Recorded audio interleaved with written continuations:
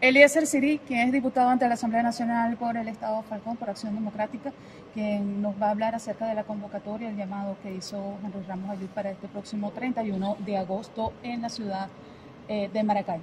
Pero si efectivamente desde nuestro querido Estado Falcón, 90 activistas o directivos del Partido del Pueblo asistirá a este encuentro de toda la dirigencia del Partido Blanco a nivel nacional, en donde jefes políticos de nuestro partido a nivel de los 335 municipios del Estado harán de presencia en la ciudad de Maracay, como de manera los equipos mm, eh, corresponden a las 24 seccionales o 25 seccionales que conforman el Partido del Pueblo. Allí vamos a recibir un informe político de parte de nuestro secretario general del partido, José Luz, y por supuesto vamos a fijar posición en torno a los compromisos que venimos asumiendo para dar un aporte en todo lo que tiene que ver con la actividad que estamos realizando para rescatar la democracia venezolana. Pero de igual manera vamos a reiterar nuestro apoyo restricto a la conducción del partido que viene ejerciendo nuestro compañero Enrique Malú y a rechazar de manera categórica esta campaña sucia que se ha venido estructurando con, apoyo de factores externos.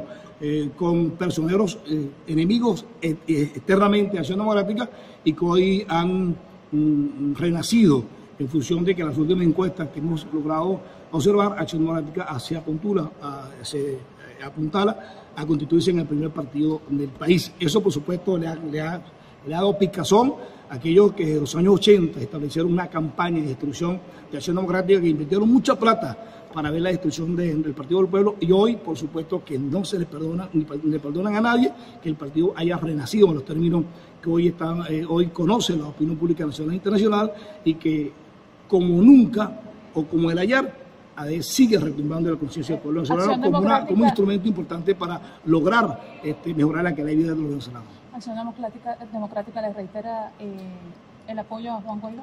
Nosotros estamos comprometidos con los cambios en Venezuela. Juan Geraldo Guaidó representa en este instante la esperanza de millones de venezolanos y por lo tanto por ser él hoy el representante eh, de muchos actores políticos, nosotros estamos solamente arrestados con esta eh, opción por cuanto no estamos para invento, no estamos para ensayo. Creemos que el mejor favor que le podemos hacer a los venezolanos para lograr rescatar la democracia es que todos nos alineemos con Juan Geraldo Guaidó, quien representa, hoy, repito, hoy la esperanza de millones y millones de venezolanos. Independientemente de la legitimidad que pudiera tener uno voto para poder aspirar a constituirse en el día de mañana, depositar la confianza del pueblo venezolano, no podemos tapar el sol con un dedo. Hay un sentimiento que ha logrado eh, establecerse en el corazón y la conciencia del pueblo venezolano y ese es a favor de Juan Gerardo. Por eso los ADECO estamos totalmente comprometidos con esta opción, entre otras cosas, porque para nosotros no es una cuestión de la responsabilidad a un hombre o una mujer. Para nosotros es un punto de no rescatar la democracia, rescatar la democracia porque, entre otras cosas, la partida de nacimiento de este partido, como lo hizo nuestra presidenta del partido, está reposa en los archivos de acción democrática. A cualquiera le puede doler por supuesto, esta democracia, pero no más que los adecos, quienes fueron que en el ayer, en el proceso de nacimiento de, esta democracia, entregamos todo, entregamos todo por este sistema de libertades. Por eso hoy hacemos votos, hoy nos entregamos en cuerpo y alma hasta lograr rescatar la democracia venezolana. Vienen unas próximas elecciones, según han anunciado eh, líderes gubernamentales. Sí, vienen unas elecciones.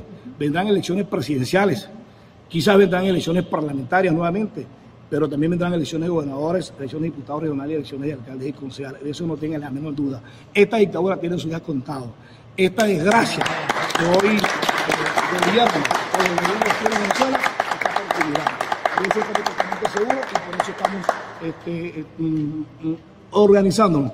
Por eso estamos revisando cada uno de nuestros cuadros y por eso vamos a Maracay el próximo 31 de agosto a reafirmar nuestro compromiso con Venezuela y a reiterar nuestro compromiso con el restablecimiento de la democracia venezolana. Tomando en cuenta lo que acaba de decir acerca de las debilidades en cuanto a la gestión del gobierno y nos venimos acá al Estado Falcón, hay una crisis, una falla grande en el tema de los servicios públicos. ¿Qué acciones toma de, o qué, frente le va a hacer al gobierno regional para que se busque solución a estos problemas? Mira, estamos lamentablemente eh, hundidos en un marasmo eh, pernicioso y perverso. No hay oriente ni hay capacidad para poder darle respuesta a los diferentes problemas que estamos confrontando los venezolanos. Y en el caso de Falcón, creo que las cosas aumentan porque hoy tiene la responsabilidad de conducir el de Falcón, ni le doy a Falcón, tiene la capacidad para poder dar respuesta a, los graves problemas que hoy estamos confrontando. Nosotros estamos sumamente convencidos que uno de los problemas más graves que estamos confrontando los falconianos es el tema del suministro de agua potable. Matícora, lo hemos dicho en reiteradas oportunidades, en Matícora está la posibilidad de que realmente nosotros podamos resolver esta situación, especialmente quienes viven en la península de Paraguaná, quienes son los que están siendo más agraviados por la situación de la falta de agua potable. Lamentablemente el proyecto inicial fue totalmente desviado en el año 2006 por acciones o por aspiraciones de carácter electorales y ese proyecto ser desviado ha traído como consecuencia de que hoy no tengamos los paragoneros, no tengan agua potable y que haya afectado, haya afectado por supuesto al resto de la región falconiana. Por eso creemos que un problema básico es matícola como elemento único para poder resolver el problema del agua potable a los